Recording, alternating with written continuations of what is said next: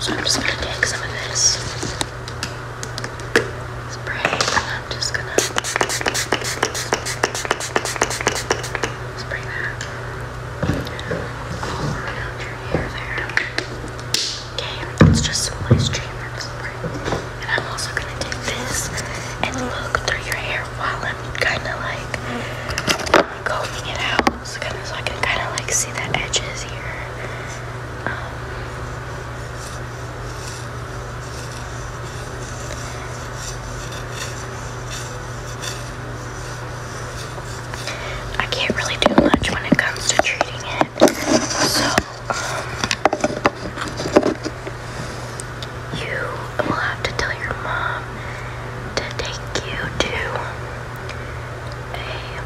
I, I can recommend a great.